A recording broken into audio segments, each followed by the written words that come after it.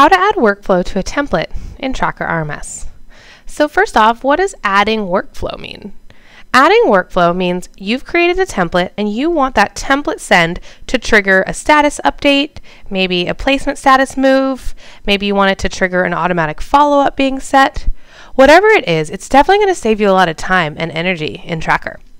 So let's head over to the template section by clicking on our name in the top right corner and then clicking on the tools and settings option. From here, I'm going to use the second box where it says create a new email, text, or letter template to send. Keep in mind, if you don't see access to this, you'll need to talk to your management team to get access. Go ahead and click on Get Started. From here, I'm going to use this drop-down menu and pick up the template I'd like to add workflow to. So in this case, I want to um, update my job offer template. This is what I send to candidates when we start to extend them a job offer. And I just want to make a, sure a couple things update when I send this over. So this all looks great, but if I scroll down to the bottom of my template, here you'll see the section called Default Template Workflow. So first off, I'm going to think about what I want to update.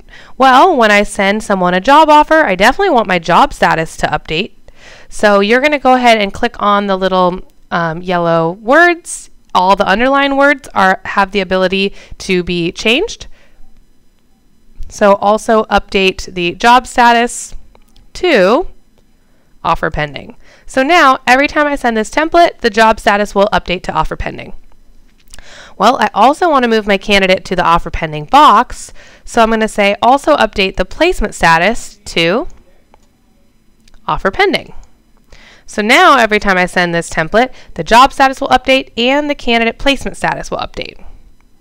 Well, I also want to make sure that I follow up with this person in a couple days via phone. So you can say, well, also remind me, or you can choose someone else to follow up on this by telephone tomorrow. Well, let's actually say two days. And then this last section with follow up on offer allows you to change the uh, subject line of the follow up activity. All right, so now this default template workflow has been set up. So anytime this template is sent, these three things will happen. The job status will update, the placement status will update, and a follow-up reminder will automatically log. So I'm going to go ahead and scroll up to the top and hit Save Template. And that's how you add or update your workflow on a template in Tracker RMS.